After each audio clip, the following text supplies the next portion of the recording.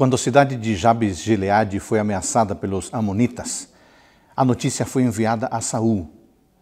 Quando Saul foi informado, ele foi preenchido pelo Espírito de Deus e emitiu uma convocação para todo o povo de Israel para se reunir para a batalha sob a liderança dele e do profeta Samuel.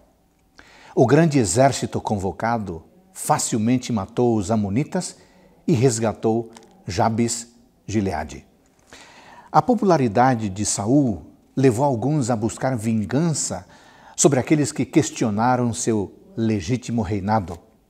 Mas Saul manteve fidelidade às orientações de Deus. Ele foi oficialmente aclamado rei em Gilgal.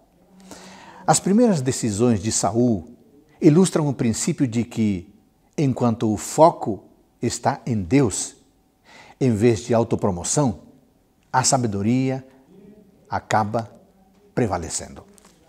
O capítulo de hoje tem valiosos conselhos para líderes em tempos de crise.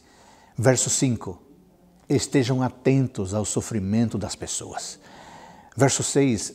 Sejam sensíveis à voz e à atuação do Espírito Santo. Verso 7. Hajam com rapidez e pulso firme. Ainda no verso 7, promovam a unidade de seus liderados.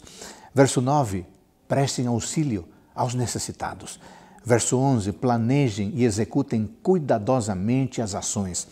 Verso 13, sejam magnânimos diante da vitória. Verso 15, comemorem o sucesso com seus liderados. E você? Que tipo de líder é você em casa, no trabalho, na igreja?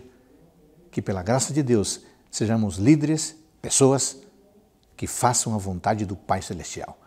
Ótimo dia para você.